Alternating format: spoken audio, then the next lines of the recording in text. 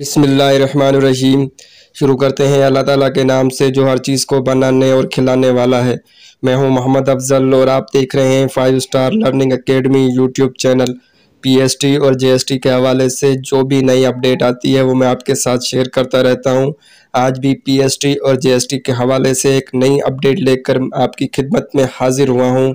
ये एक बहुत ही अच्छी न्यूज़ है उन कैंडिडेट्स के लिए जो पीएसटी और जीएसटी दोनों टेस्ट में पास हो चुके हैं, दोनों टेस्ट क्वालिफाई कर चुके हैं। तो वो कैंडिडेट्स परेशान थे कि अब हमें क्या करना पड़ेगा? हम कौन सी सीट लें, कौन सी सीट ना लें? क्या हम एफिडेविट जमा करवाएँ या एफिडेविट जमा ना करवाएँ?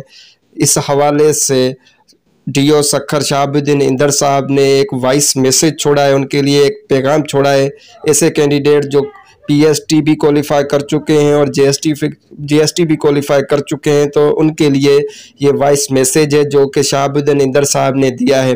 वीडियो में आगे चलने से पहले मैं आपसे गुजारिश करता हूँ कि अगर आप मेरे इस यूट्यूब चैनल पर नए हैं या आपने अभी तक मेरे इस यूट्यूब चैनल को सब्सक्राइब नहीं किया है तो प्लीज़ मेरे इस यूट्यूब चैनल को सब्सक्राइब करें, मेरी वीडियोस पर लाइक और कमेंट करें, साथ में दिए गए बेल आइकन को भी प्रेस करें ताकि हर नया आने वाली वीडियो का नोटिफिकेशन आप तक पहुँचता रहे। तो चलते हैं वीडियो की तरफ़। आप ये वॉइस मैसेज है, वो सुने। जो जे और पीएसटी दोनों में पास हैं और पहले पीएसटी के ऑफ़र आर्डर इशू होंगे तो कोई उसमें एफिडेविट जमा कराने की ज़रूरत नहीं है। आप बिल्कुल बिला जमा किए हुए अपने ऑफ़र आर्डर रिसीव कर सकते हैं। और बाकी उसके बाद जब जेईएसटी के आर्डर मिलेंगे उस वक्त आप लोगों को। फैसला करना पड़ेगा कि हम जेईएसटी लेना चाहते हैं तो लें तो फिर पीएसटी से विद्रा करना पड़ेगा।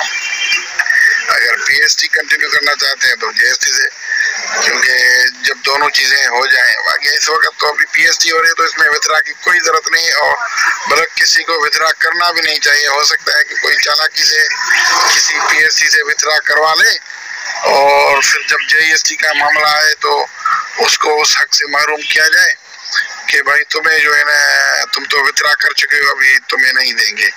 फिर वो किसी और दूसरे को राज़ी करें। इस तरह नहीं होना चाहिए। जो मेरिट पे है तो उनका ही हक है। पहले वही जो है ना पीएसटी में अगर आ गए हैं तो पीएसटी अवेल करेंगे। जैसे जेएसटी होगी तो फिर जेएसटी का वो ऑर्डर लेके अपनी मर्ज़ी से फिर पीएसटी रहे हैं जेएसटी रहे, फिर किसी एक में से वितरा करना पड़ेगा उनको। अगर मेरी ये इन्फॉर्मेशन आपको अच्छी लगी है तो प्लीज़ मेरे इस यूट्यूब चैनल को सब्सक्राइब करें, मेरी वीडियोस पर लाइक और कमेंट करें, साथ में दिए गए बेल आइकन को भी प्रेस करें ताकि हर नया आने वाली वीडियो का नोटिफिकेशन आप तक पहुँचता रहे। अल्लाह हाफिज़।